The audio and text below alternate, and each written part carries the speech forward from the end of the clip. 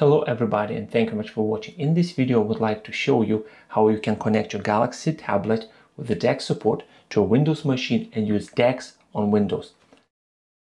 Currently only some of the Galaxy phones has this feature.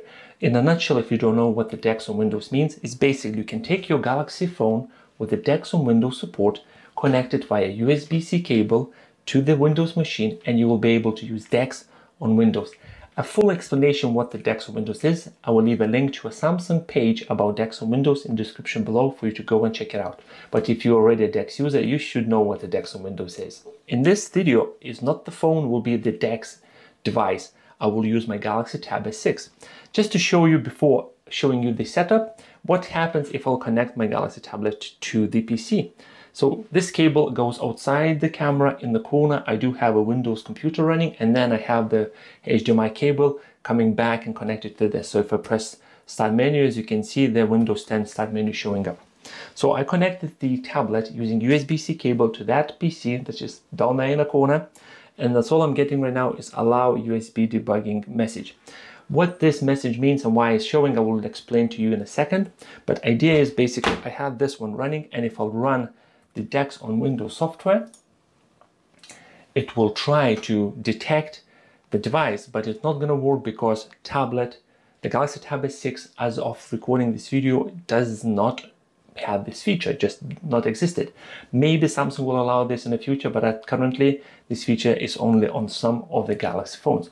So Samsung DeX software on Windows running, nothing's connecting, giving me an option, uh, giving me an icon saying that connection is not happening and it's telling me that I need to make sure that the phone is properly connected to a PC, not the tablet. So how to go around this and make it working. So I'm gonna disconnect the tablet and I leave it here for you to see that I'm not tinkering anything with the tablet. There is a, a free software available online on the GitHub uh, pages. If I open Chrome browser and if I'm gonna search for QTSCR QTSCRCPY. Anyway, the link to this page I'll leave in the description below. By the way, the resolution I'm using is 3440 by 1440p, but I basically increased everything up to 200% just for easier for you to see what's happening on my screen. So let's go back to this page. So here you go. And the first link is going to be barry-ran slash qtscrspy. So this is the page where you will find the software. If you go on this page, and you scroll down, there's a lot of documentations uh, and screenshots of exactly what this program does. If you keep scrolling down, you should find an option saying Windows.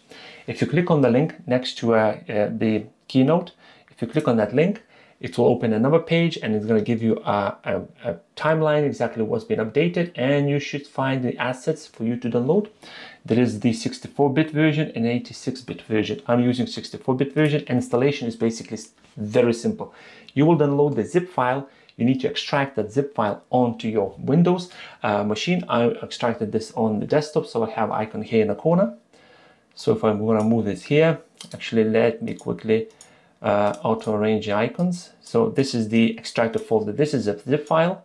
I downloaded and this is the extracted file, the folder that I need to use. So if I open that up, inside there we'll find the folder. Inside the folder is a bunch of files and one exe file, qtscrcpy. This is the program. So to this, for this program to work with your Galaxy device, you need to enable USB debugging on your Galaxy tablet.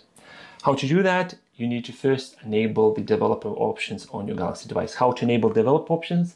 There is at least a billion videos on YouTube how to do that.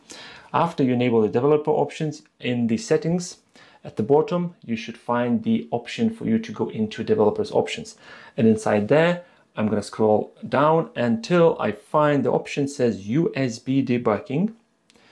And it's somewhere here hidden, which I can find it now. Let me quickly it's a lot of options here. Here we go found it. Debugging and one of the options here the light should say USB debugging I had that one turned on. So when this is turned on I'm just gonna go back to the main menu. I'll put this tablet holder just closer to a camera for you to see that the tablet is to get connected and that's what's to happen. So I do have the USB-C extension cable running from the Windows machine in the corner.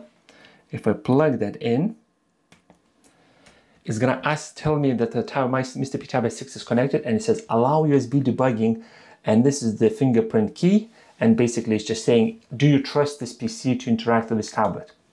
I'm gonna say allow and that's it. Now I need to run QTSCR CPSCI program on my Windows machine.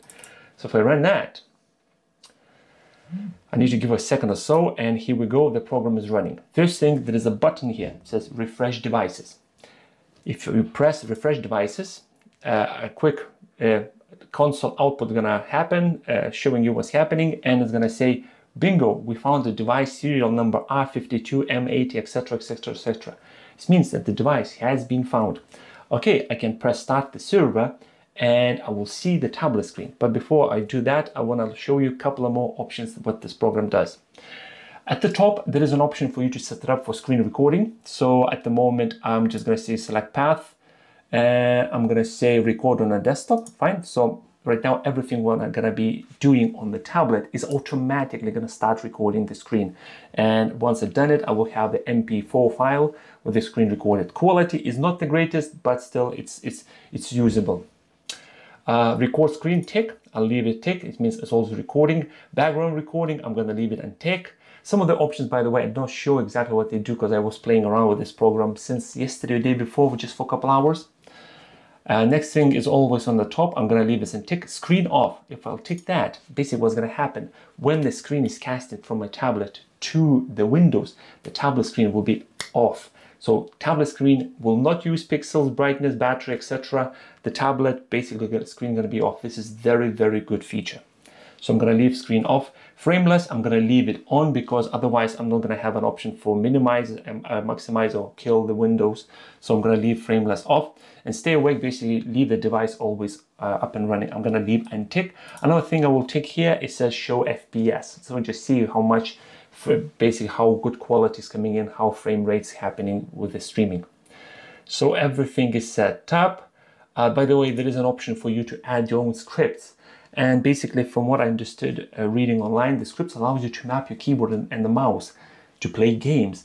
I haven't had enough time for me to test this out, so I might do a video in the near future about it. And let me know comment section below if you want to see that. I haven't tested anything, haven't mapped anything, so I'm not sure how it's to perform for gaming, etc., etc. But if you want to see that, obviously leave uh, your your your feedback suggestions in the comment section below. Right, uh, another option down here, it says wireless. It is a way to connect everything wirelessly. I haven't played it around yet, so I can't say yes, it's working, no, it's not working. So I can't, I basically I can't comment on that.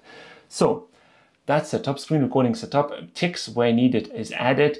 Device is found. I'm gonna click start server. And boom, this is my tablet screen. And as you can see, tablet screen right now is off because I made a tick saying turn off the screen. So right now, if I go full screen, and basically as you can see, the quality, because I am uh, the zooming everything in. So let me quickly go into Windows display settings and say everything zoomed in and 25, 125%. Uh, let's go full screen. Okay. No, let's go back. And there is a button here on the right hand side says full screen and there is a home button, uh, app switcher, back button, basically what you find on your Android devices. So if you say full screen, and here we go. This is the uh, the tablet screen, not the ideal aspect ratio because it is 3440 by 1440p and I'm telling my tablet to go full screen so everything is stretched out, but still it's very usable. So I can go, for example, into a browser and open, so for example, Samsung DeX web page and can go in the computer the win the desktop mode which sometimes does sometimes doesn't. So it's a, uh, it's a bit flaky but let's say I'm going to use the keyboard which is currently connected to Windows. I'm going to say go to google.com I misspelled.com here we go and let's search for for example DeX on Windows. I am controlling the DeX on Windows through uh, from the basically my Galaxy tablet is connected to a Windows using USB debugging feature via USB-C cable and I'm controlling the tablet using my keyboard and a mouse. So really great, I'm, I'm controlling tablet, but I can go and enable the DeX on the tablet and right now it's casting to my Windows machine. So right now what you see is actually DeX on my tablet, right now being shown on the PC. So I can go on here, open the browser. So as you can see, here we go, DeX on Windows. Let's try to open Reddit now, because like I said, sometimes Reddit works, sometimes doesn't. It's very flaky most of the times. Something is happening. Uh, there's a there is a workaround which I am not going to show, but there's a workaround to fix it. This is another thing for another video. Let's, for example, say let's go to YouTube.com. So I'm opening YouTube. I can scroll through YouTube. Fantastic. I can go, for example, and search for I don't know. Let's say okay, Google Assistant just kicked in. Uh, let's actually run the game. I will run one game for you, which is called uh, Time Clickers. It's an idle game. You just run it and leave it running. And I'm playing the game on the DeX on the tablet, which is being cast to Windows machine. Here we go. The sound is a bit too much, so let's lower it down. And let's quickly buy all the upgrades. So in this game, I can have an option saying reduce particles. Basically, this is unticked. That means it show everything. Uh, and then it says 60 frames per second. I'm gonna say unlimited frames per second.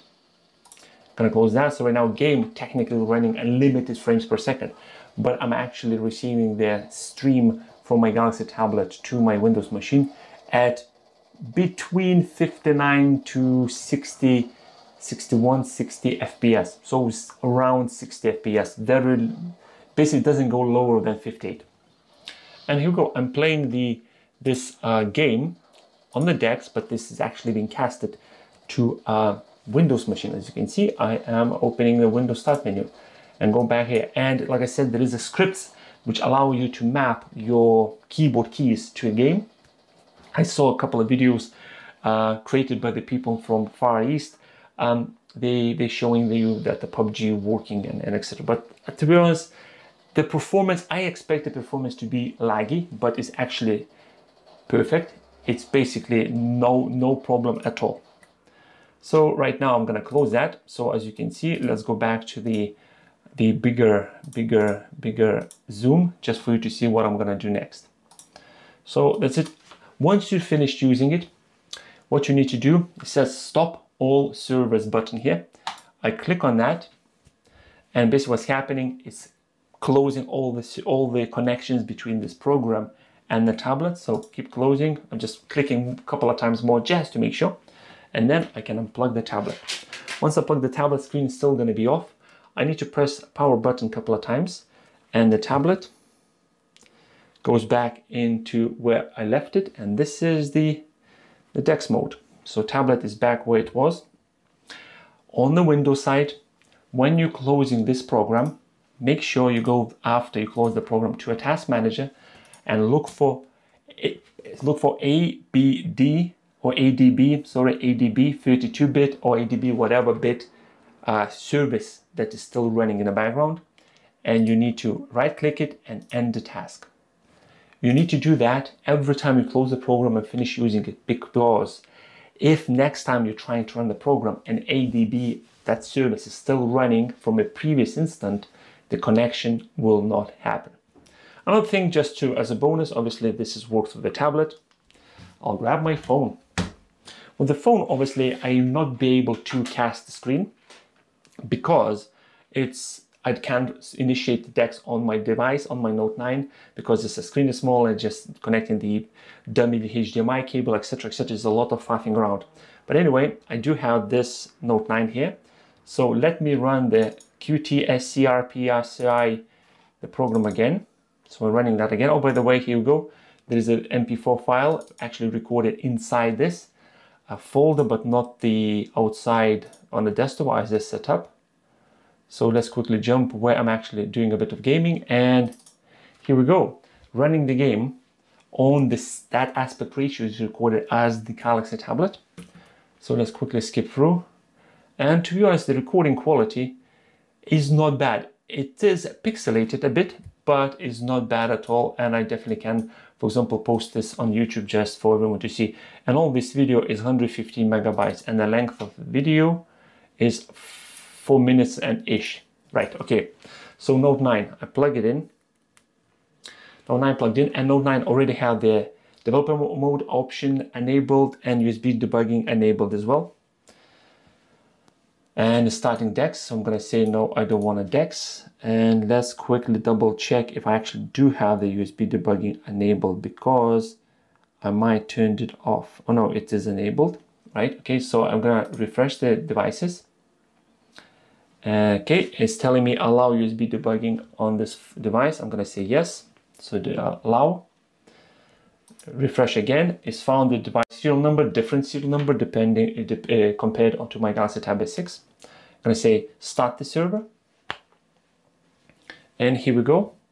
This is the Note 9 so this is Note 9 and the real Note 9 and this is the Cascade. So you can see how lag your latency, what kind of latency you're getting between between the uh, actual device and the streaming quality on the on the on the Windows machine. So open emails, close emails. Let's say I would like to open my YouTube page, open YouTube Studio, loading, loading don't want to load let's quickly open YouTube app opening YouTube app latency to be honest I right now trying to compare both both um, both screens latency is almost none maybe one millisecond or so. So this is how you can go and grab your Galaxy tablet with the DeX support and connect to a Windows machine using this program. Drag and drop features and etc are not working.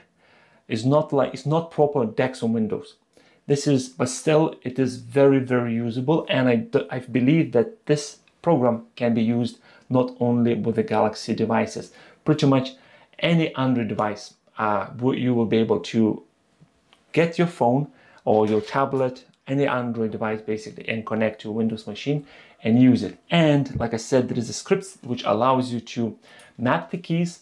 I haven't tested that yet because I haven't had a chance to, to do that. If you want me to play around a bit with the key mapping, let me know in the comment section below. As I mentioned before, I'm stopping all the services, closing the program, going to Task Manager, and looking for ADB 32-bit and I'm making sure that this is closed because next time when I'm gonna try to use it, it's not gonna work. Thank you much for watching. I hope you enjoyed this video and I'll see you in the next one. Goodbye.